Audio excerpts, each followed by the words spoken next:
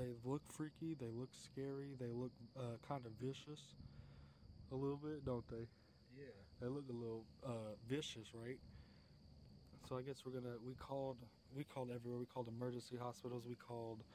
Uh, uh, we were able to go online and find some local rehabilitators that take animals like this, like babies or whatever, that get separated from their parents, and they're able to basically keep them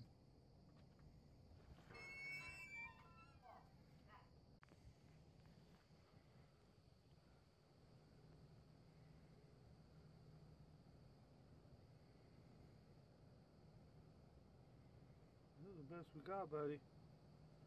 You hungry? Huh? Dad, you know what you should do? Put a little bit of milk on your titty and let him suck it off. Hey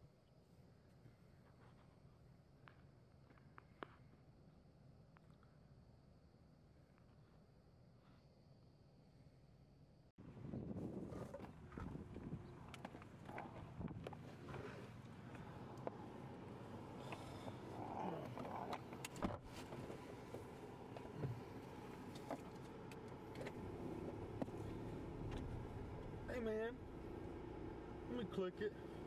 Help me. I need a big, uh, big boy uh, buckle.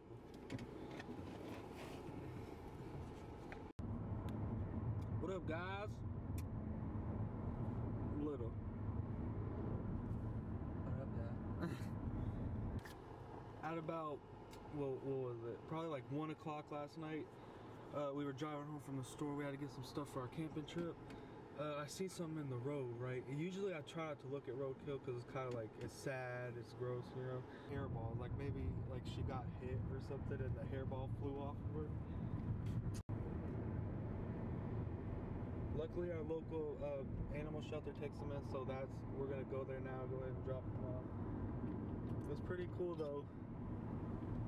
That was pretty neat. At least we were able to save some of them.